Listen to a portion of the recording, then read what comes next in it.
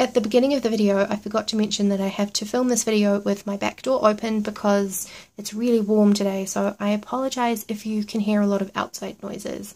Hi guys, and welcome back to my channel. Today I'm doing a little flip through for you. This is kind of a few minimalist style spreads that I've been doing in my bullet journal lately, so I thought I would show you those. So this is a weekly spread. A little bit differently, I have made like a schedule. So it's just a small, kind of very brief schedule of what's happening on those days. So important appointments and birthdays and things like that, just to keep note of. Normally what I do is I put in this, so it's quite a bit bigger. There's three lines for each day of the week, but it takes up quite a lot of room.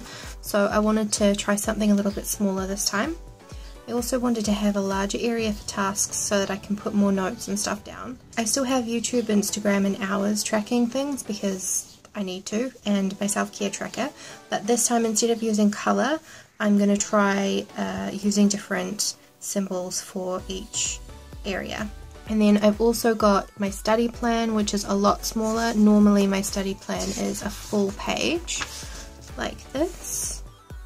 So instead I have it like this. It's just a couple of lines so I can put a brief explanation of what I need to do because then I also refer to this proper course guide that I have which has all the different sections and everything that I need to do within those sections like any tasks, readings, journal reflections and things that I have to do for that part of the course so I can just refer to this big master list instead of having to copy it out all the time completely. I also have an activity. It's not a tracker, I'm just going to be writing down what activities I'll be doing each day of that week. And I also have a cleaning checklist as well, just to keep on top of that sort of thing.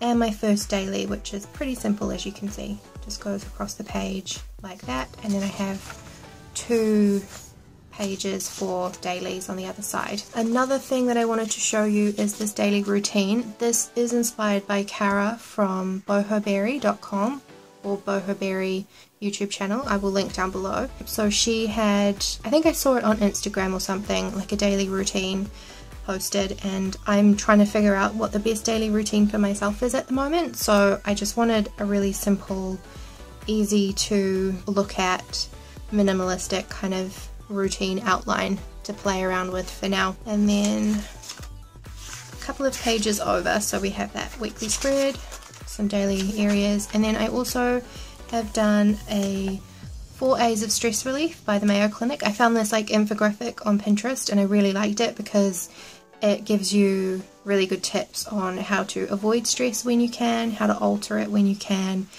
and then like if you can't change the level of stress, then you can increase your ability to cope through acceptance and adaptation. I basically just took notes from it really and put it in here because I wanted to have it with me so that I didn't have to always look on Pinterest or have the internet or whatever. Plus I find that if I write something down it often sticks better in my mind anyway. So I wanted to do that.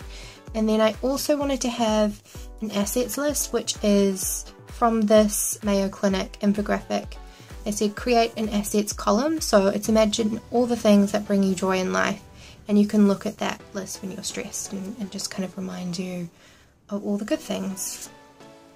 And then I also have a stress management ideas list, which is very minimal, there's no colour, just really simple header, some really wonky writing, and just a whole bunch of ideas for managing stress, ways to kind of calm down that's what I've got so far. I'm just going to flip through because I feel like there was something else that I wanted to show you and I can't remember what it was. So I found it. This is a cleaning tracker. I wanted to make this weekly and monthly cleaning tracker so that I can like tick things off each month. It's just six, uh, seven months long. So from December until June of, December last year until June of this year. And that just helps me keep track of things. And moving upwards, this is the monthly etc. cleaning. So monthly stuff seasonal seasonal stuff and six monthly and stuff that happens as needed. I've got these little dots to signify when I would like to do each task. So what month for example I want to do something in. Um, obviously this needs to be monthly but I didn't have time to do the cupboards and wipe the cupboard doors, doors in December. So I've got them done for this month which I have actually done. So I'm going to tick those off. Here we go. Yeah and then just a whole bunch of these other things to do so I thought I would just show you that in case you need an idea for a weekly or monthly cleaning schedule. Something else I wanted to show you is an activity page and this just kind of outlines what I want to be doing each week and this also lists down the body weight circuit that I got from I think it's nerdfitness.com or fitnessnerd.com either way I will link it down below don't worry and there's a little video on that which actually shows you how to do the circuit and stuff yeah so if you like to do exercise and stuff and want an idea for a spread for that, then there you go.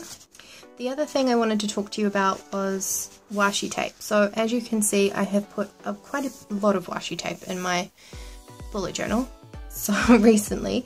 So for each month, I like to put a strip of washi on the, the title page slash the, the month page and it sticks out a little bit so that when the journal is closed I can easily flip through like a tab. And I've done that with the rest of the washi tape in my book as well. I've kind of had, have it sticking out to make tabs, which is okay, but I'm not sure I'd do it again.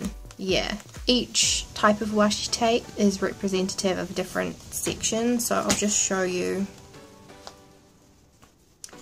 I have this little flip out thing here, so yeah, the blue with stars is about books and hobbies, so things like my reading lists, my project life stuff. Anything orange is study related, anything pink and diagonal white striped is house related.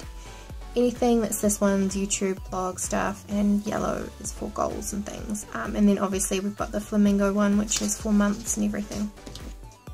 So yeah, I mean it definitely is helpful to have the tape so that I can easily flip to different sections and things that I need to look at but at the same time I don't really like having it sticking out the sides. I wish I hadn't done that, but I'm just going to leave it now. Like, that's fine. It's not going to, it doesn't irritate me enough to need to change it. And the other thing I don't like about washi is that it makes the edges quite thick, so it doesn't always lie flat. And then as you get further along in the book, sometimes that can be problematic when you're writing and I also don't like how thick, how wide it is so that if you were to put it all the way down it would actually take up more than one square on either side of the paper which just irritates me so I would probably need to get really thin washi if I was going to do that again so I think next time what I might do is just not do tabs in my next book. That's pretty much it I think for this video. I know it's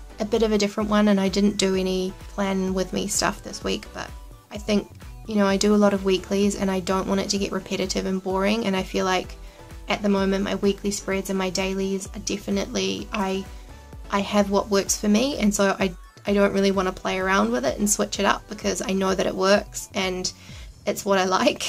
So it kind of makes it hard in terms of wanting to make different content for you guys. So I am sorry for not doing a plan with me this week, but hopefully this little mini flip through was interesting and if you are interested in doing some more minimal style stuff that will give you some ideas or if you just want ideas anyway, then hopefully it was good. Alright guys, thank you so much for watching. I hope you enjoyed the video. Please give it a like if you did. Don't forget to subscribe if you're new and I will see you again really soon. Bye!